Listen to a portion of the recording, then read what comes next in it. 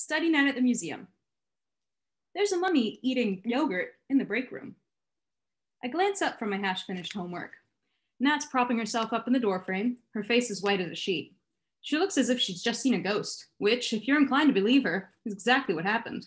Well, somewhat. I stare at her across the dim light of the library, trying to think up a witty reply that will elevate my social status to cool. Something along lines of, hey, what else is it gonna eat? Marty's tuna sub reeks. Or, you see, this is why we both need coffee. But when I open my mouth, all the words I could say stay stuck in my throat. Honestly, I'm hurt. I've had my fair share of hazing before, with how many times I've changed schools, but I really thought I was making strides in befriending Nat.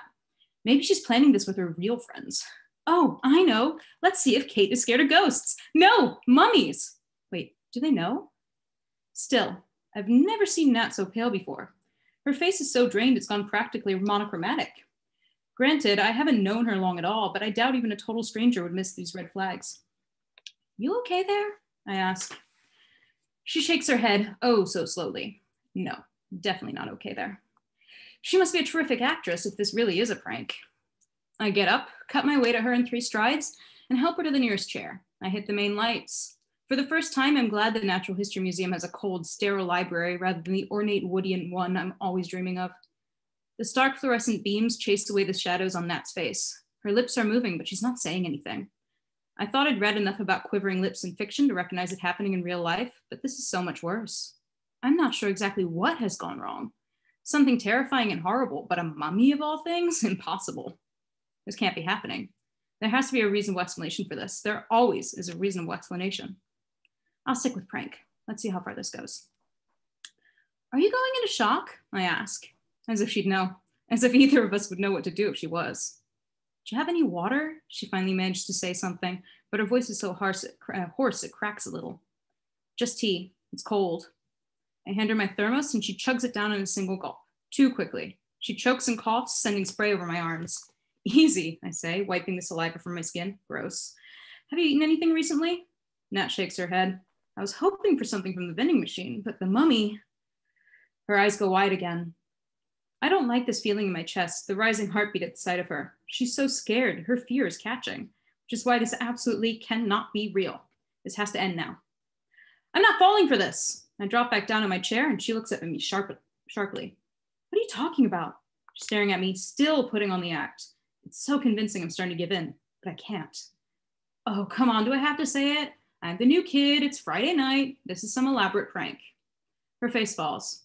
I thought it'd be impossible for her to look any more haunted, but whoops, now she's left ghost, left ghost territory and looks outright corpse-like. Seriously? Her word is a whisper, an earnest, pained whisper. I'm actually feeling sorry for her. Kate, please. Okay, fine. I roll my eyes. Show me the mummy then. But if your football buddies think they can get the drop on me, I expect her to try to convince me more, but instead she quietly slips off her chair and waits for me to take the lead, which I do, grabbing my phone off the desk and clutching it tight to my chest as I go. I won't be taken by surprise. I don't know if this is a good plan or not, but at the very least, I'm stretching my legs, even if it is just a hop and a skip down the hallway to the break room. I've been crouched for hours over that desk, reading everything through those old books and reference papers that Dr. Lauren Eagleman, director of Egyptology here, has pulled out for us. I've literally been taking notes until my wrist feels sprained for the past 10 days. I need this college credit. I can't have anyone put that in jeopardy. I'm not supposed to be here anywhere near this stinking town. My parents decided last month that their research was more important than family and deposited me and my little brother Tegan with our grandparents before they caught a cargo ship to Antilles. I was supposed to be finishing my senior year with my friends, kicking butt at soccer and dominating the field. Instead, I'm forced to take every available AP class in a desperate attempt to look good for universities now that I'm out of the running for a sports scholarship. Apparently, there's no room for me on the school's new team. I can't just come out of nowhere and squeeze myself into places where I don't belong. The field isn't the only place that doesn't have room for me. I'm joining classes midway through the term, which means most projects have already started. My new AP English teacher runs this project every year, partnered with different universities, sending her students to affiliated museums to give them real world research experience and connections for potential summer jobs.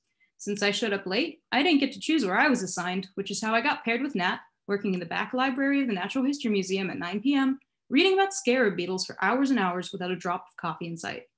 Not the senior year I was dreaming of. We're not even meant to stay this late. Nat's plan for our project is so overwhelming, she just had to ask for extra time on site. Dr. Eagleman was thrilled, thrilled to give us access. It's not like we're running around the museum floor after hours, though. We just stay in staff areas.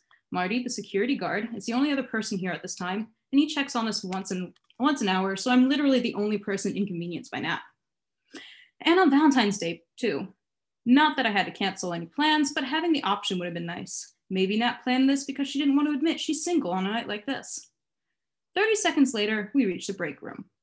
It was once an animal research lab back before the biology department moved to a larger space on the university campus, so it has a big glass window in the door.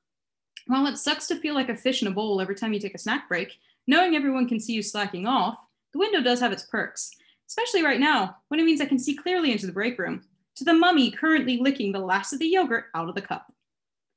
Oddly enough, my first reaction is to be rather peeved because that's my yogurt and I was really looking forward to it. My second reaction is pure and utter panic. Takes every ounce of courage I have not to take to my heels and run away. Ancient linen wraps span the mummy's body head to toe, worn thin in some areas where they hang off in tangled strips, revealing skin that's wrinkly, coppery brown, like old leather. Its hands are bound tight like mitts, but it still manages to hold a spoon. Its black hair is long and surprisingly shimmery, but it's the face that is truly traumatizing. In the movies, mummies' faces are always wrapped up so you can't see a thing. Only their mouths remain so they can moan and groan and make generally terrifying sounds. But the being before me has a face. There's obvious mounds and indents where the features should be, gouges revealing muscle. There are two slits where the eyes are, like the mummy is squinting as it tries to clean the cup, because let's be honest, it's clearly enjoying my strawberry Yoplait. Mummy is alive. And as far as I know, mummies aren't meant to be walking around museums or walking around at all for that matter. This is uncharted territory. Whatever brought it back from the dead screwed with the laws of nature. Shit, I say. It's all I can manage not to panic. My hands are trembling so much I can't keep my phone steady as I press it to the glass window. The mummy's in full view on my camera app. Through my jittery fingers, I'm making the image shaky. I start recording immediately. What are you doing? Nat asks. Filming. No one's going to believe us otherwise.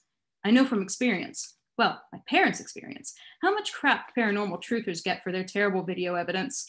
One thing mom and dad never seem to grasp is that recording a reaction to a ghost isn't the same thing as actually getting the ghost itself. My phone is always on me, so I have no excuse for letting this get away. Nat and I stop beneath the window in silence as we watch my screen. The mummy laps up the dregs of my late night snack with a tongue that shouldn't be there. None of it should be there. What do we do? Nat's voice is a harsh whisper. How should I know? You're the one with muscles. I didn't think she'd notice. The heat on my face is either from my terror or my blushing. So you want me to go there and beat up the 2,000 year old mummy? That's your plan? A mummy, which I should mention shouldn't be alive or eating anything? 5,000. What? It's a 5,000 year old mummy. Nat's word tumble out so fast they're tripping over each other. First Dynasty, come on, you should know this. It's the only mummy in the whole museum. Well, um, how do we know it's the same mummy that's meant to be on display? Hmm? What other mummy could it be? And it's eating my yogurt.